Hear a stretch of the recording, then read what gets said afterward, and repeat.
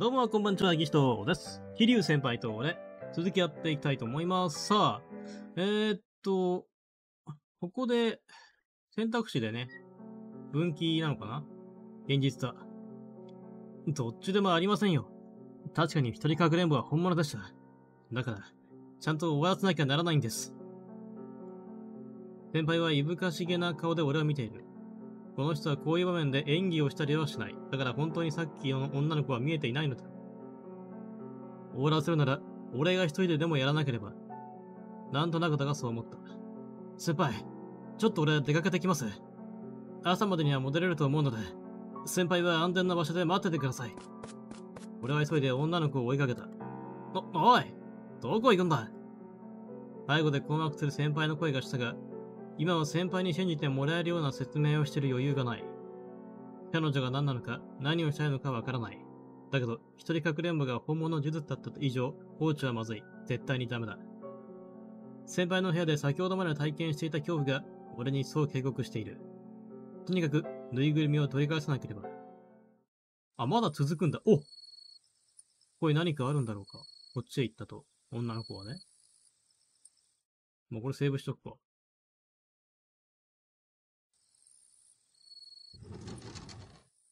ここは、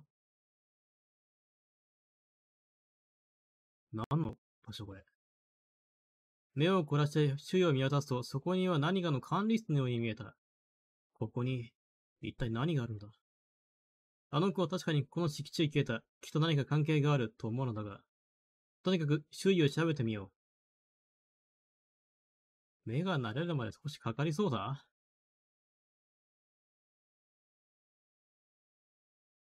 暗くてわからないって言われてるな。電気なきゃわかんねえな、これ。多分ブレーカーが落ちてる。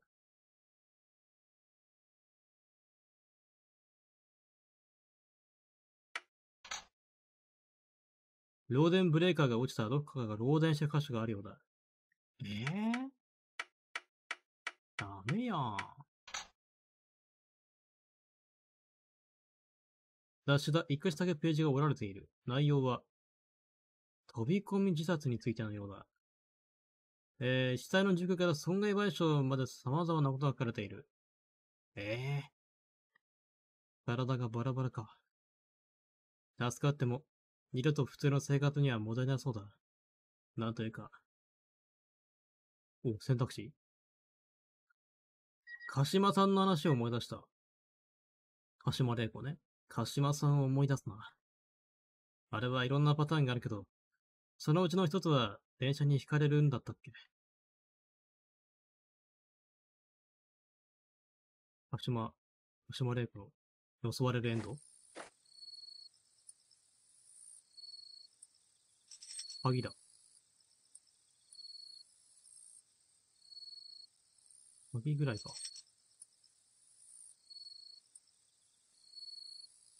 特に何もない。先輩連絡もないの。目が慣れたかい？これか？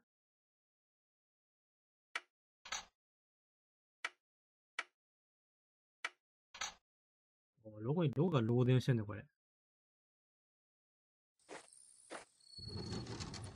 これ、外に出る扉か。誰かが近づいてくる足音はこのドアのすぐ前で止まった。誰かがじっとこちらを見ているような嫌な気配がする。どうしよう。下手に動くと気づかれるかもしれない。いや、すでに気づいているからそこでじっとしているのか。俺が出てくるのを待っているんだろうか。開けてみるしかないじゃん。なお前、な、なんだ？お前、名字はなんだ？え？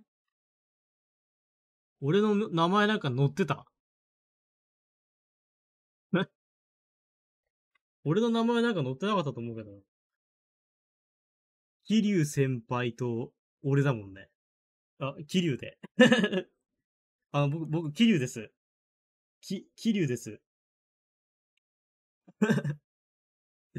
き、桐生です。腕はどこだ？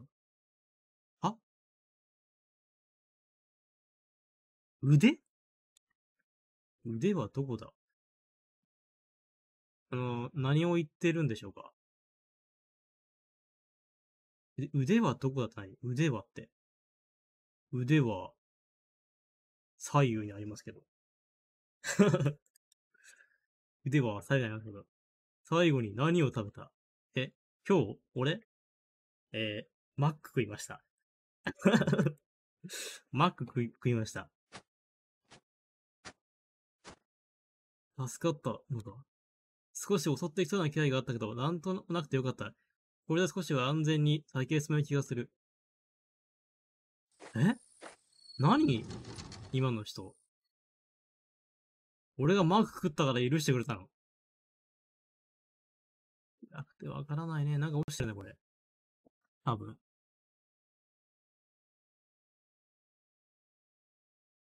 この辺ダメだね。ん？排水。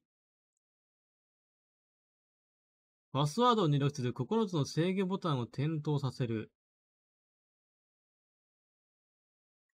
9つの制御ボタンこれまた違うもん。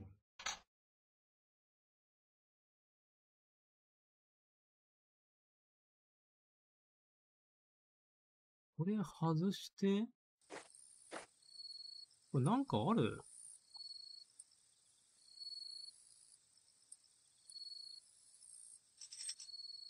一応調べられるのはなんか、こういうマーク出るんだよね。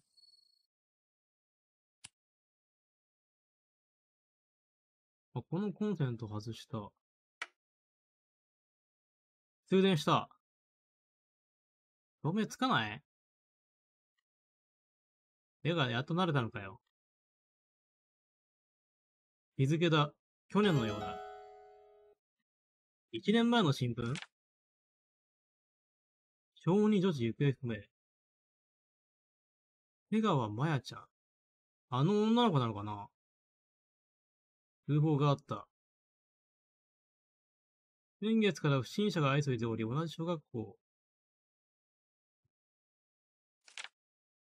多分あのー家にいた女の子なのかな？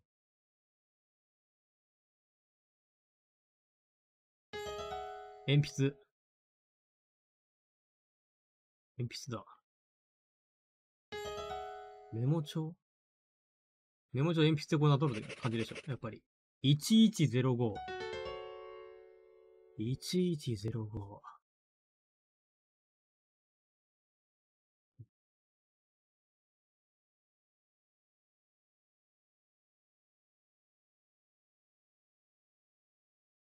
ボタンを押せない。排水にあれか。多分これ鍵だな。鍵入れて、パターンでしょ。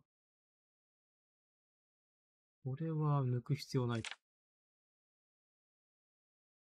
パスワードを入れて9つの点灯させるって書いてあるんだよね。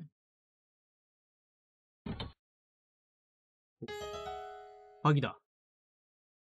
これがこれか？これじゃねえの。フェンスこれ外かよ。外の鍵だったね。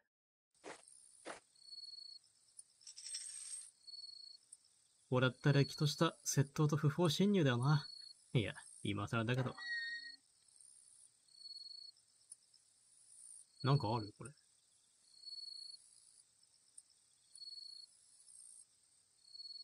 これ多分水抜かなきゃ意味ないんじゃない？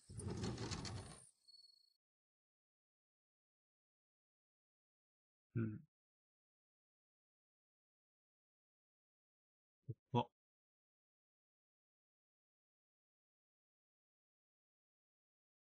電話とかなんもないんだよね。鍵がいる。これはまた違う。お、操作版。え、いつ、いつ手に入れたこれ。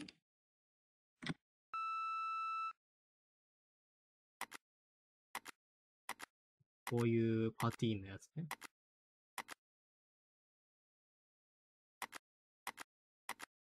はいはい。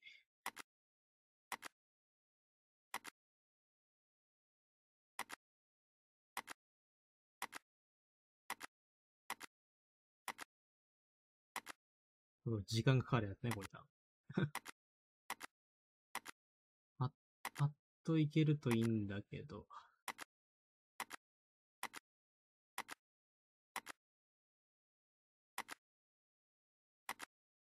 これだと良くないんだよな。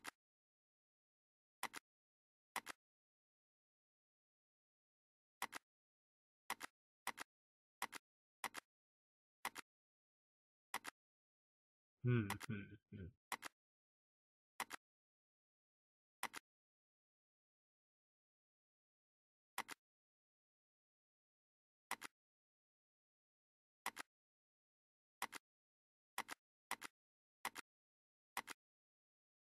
おっさ。いけないぞ。いけない。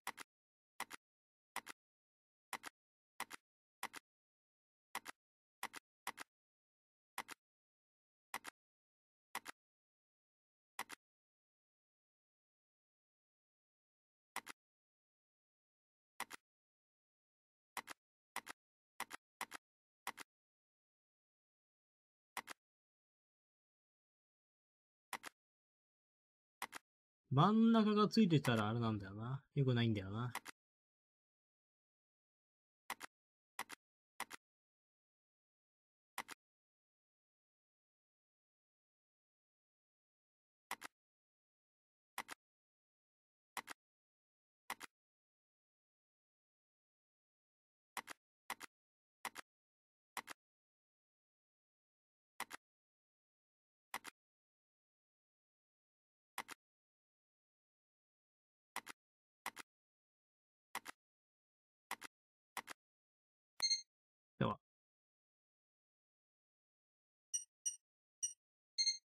OK。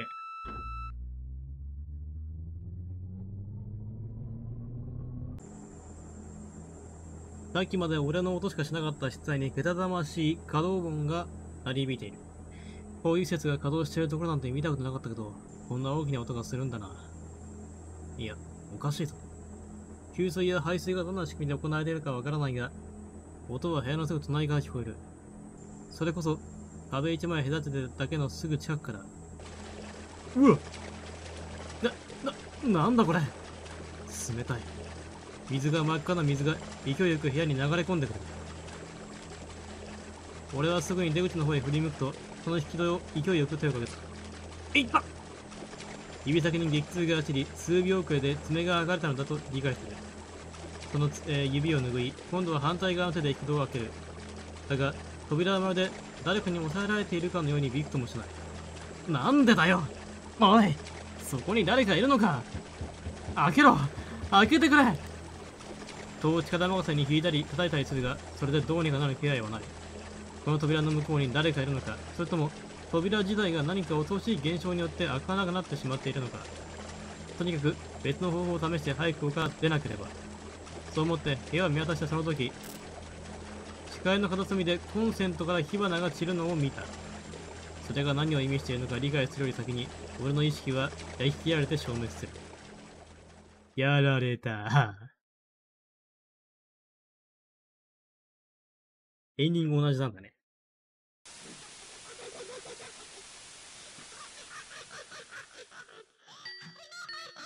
まあ、なんだろう。分岐、今のところは鹿島玲子を選んだからなのかもしれないけど。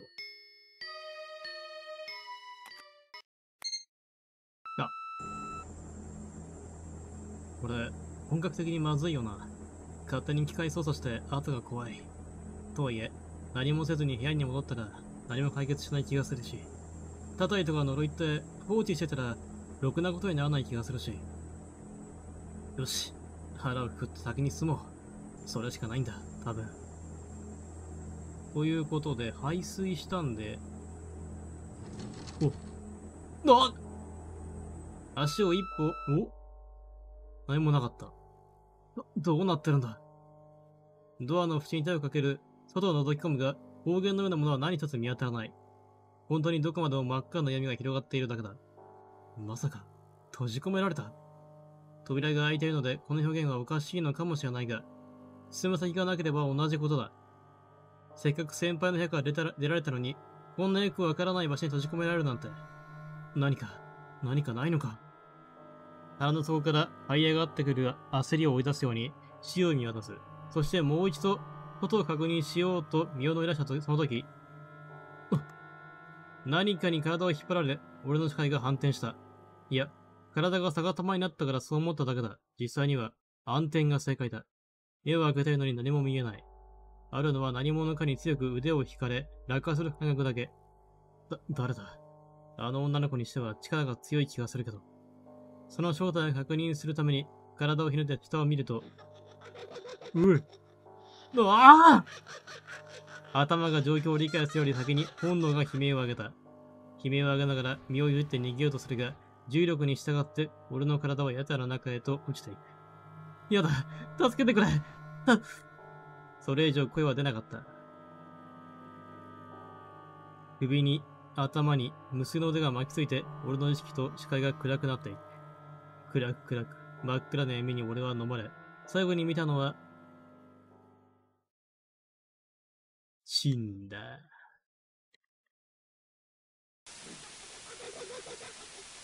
これは多分、鹿島玲子の話ように選択しなきゃダメかもしれないな。そしてあの、開けた時にあいつとの対応をやっぱりしなければいけない気がするね。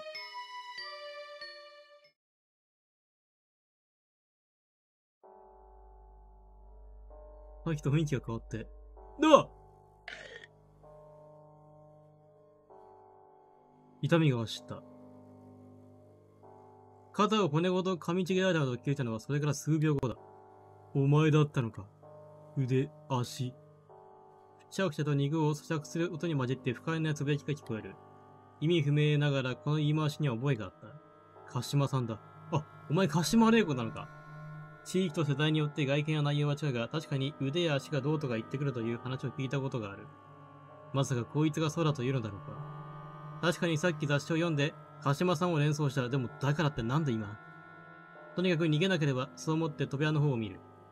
扉を大きく開け放たれている。こいつをどかして全力で走れば逃げられるはずだ。何せこいつには手足がない。とにかく隙をついて。バッ肩から口を離した隙に立ち上がろうと足に力を入れた。だがその足に激痛が走る。逃げようとする俺を阻止するように、鹿島さんが足首へ噛みついてきたのだ。めきめきと嫌な音がして俺の足が、足が、足が。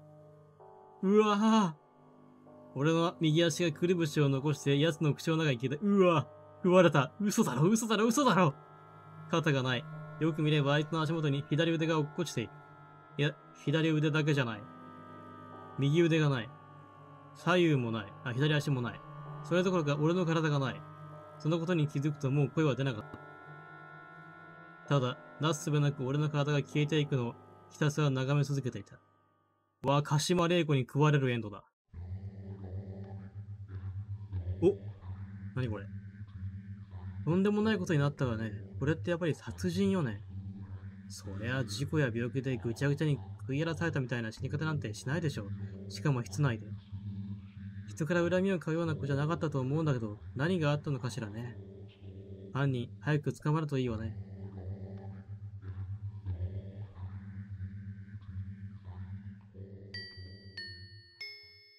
院で葬式挙げられた。あ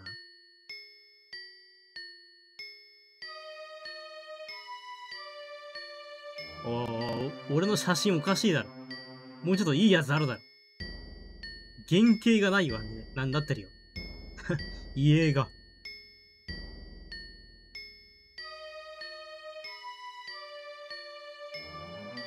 桐生先輩、後半、な、出てこないの 全く。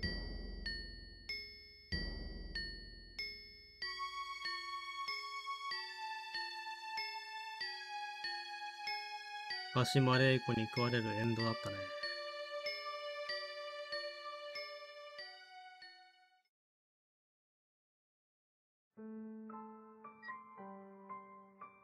死亡が全部見たね。じゃあ、あと真相だけだ。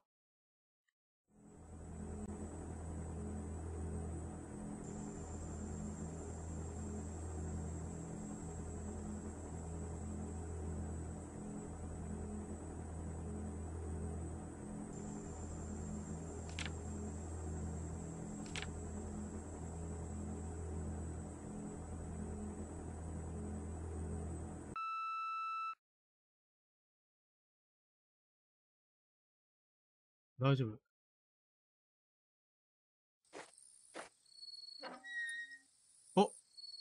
おあれは？女の子の。見間違いじゃなければあれは？こっから降りれる。やっぱ女の子の死体か。はしごを降りると、水の抜けた防火水槽の底には小さな女の子が、え子供が横たわっていた。普段なら思わず目を背け、もしかしたら吐いていたであろう、ひどく腐乱した死体。だけど俺はその子から目を離せずにいた。恐怖ではない。どっか物悲しく、彼女に同情する気持ちがそうされたのだ。俺はこの子の名前を知っている。この子は、おー、ちょっと待って待って待って待って。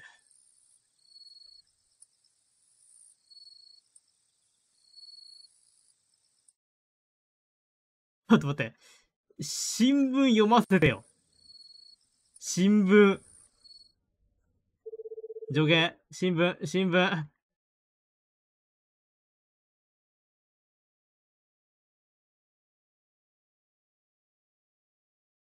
マヤだったか。おいおいおい、待って待って待って。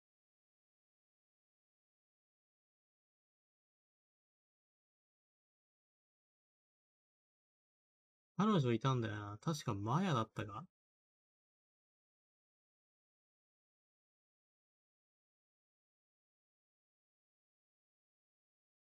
ま、マヤでいいの？新聞かなんか載ってたけど、あれは違う子？おお、またまたまた。知らねえよ、そんなの。お前の、お前の助言知らねえよ。なんだこれ。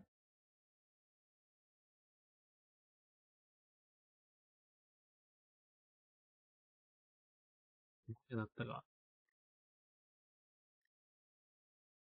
こいつマジで無責任すぎねえか。新聞見させてくれよ、マジで。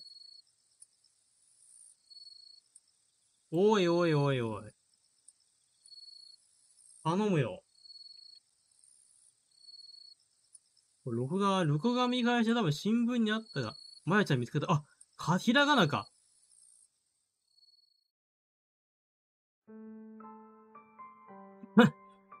よかったひらがなで助言してくれや。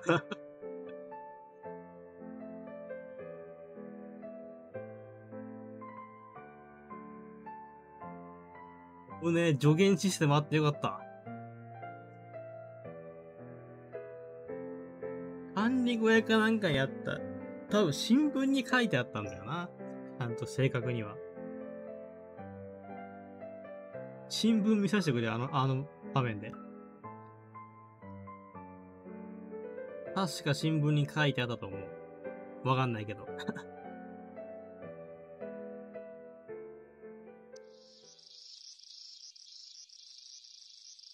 あれから、俺は自分の両親に従いすぐに警察へ通報した。だけど特殊な状況での発見だったせいで、俺が犯人ではないかと疑われ、結構大変な目にあった。なわけねえだろ、アホか警察。そりゃそうだ。普通の人間が何をどうしたら池の水を抜こうと思い立ち、そして死体を発見するのか。それを他人が納得できる形で説明するなんて、ほぼほぼ不可能だ。だけど、俺はなんとか犯人になることなく、元の日常へ戻ってこられた。どうやって警察を納得させたのかというと、悔しいけれど、それは先輩のおかげだった。先輩が一点を引かせて、池の水を抜くテレビ番組に触発されたと答えてくれたおかげで、俺はただの第一発見者であると認められたのだ。あったね、その番組。モラルの欠如したバカな若者という楽印をと引き換えに。ただ、貯水槽の管理者が不法侵入や水を抜くまでのあれやこれやについてを不問にしてくれたので、警察の人たちにちょっと白目で見合える程度で済んだのは良かったと思う。そして、傍から見れば、えー、バカ極まりない行動のはずなのに、女の子の遺族、母方の祖父母は見つけてくれてありがとうと泣いていた。そして嫌でなければとお葬式に呼んでくれたのだ。